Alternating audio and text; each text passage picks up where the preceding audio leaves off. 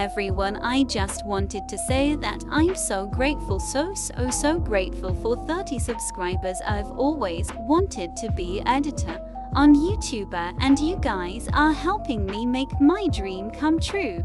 I know this sounds so cringe but thank you so much. Goodbye my loves.